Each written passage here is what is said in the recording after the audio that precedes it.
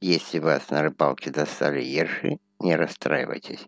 Плотва и ерш держатся на рыбалке вместе. Сначала клюют ерши, ерши, ерши. Но если вам не охота ловить ерша, а охота ловить плотву, сделайте следующее.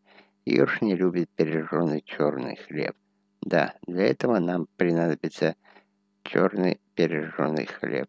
На всех рыбалках зимой и весной я так собой делал. Брал э, пережженный хлеб. Хлеб обжигал зажигалкой еще дома. На тот случай, если будут клевать ерши. Ерши мне не надо. Потом пережженный хлеб молол через мясорубку и сыпал в лунку. Дальше ерши не клевали. Ерш не любит пережженный черный хлеб, как черт не любит ладана.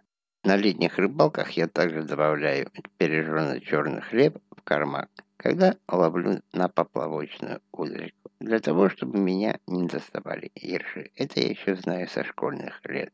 Этим небольшим лайфхаком я с вами и делюсь.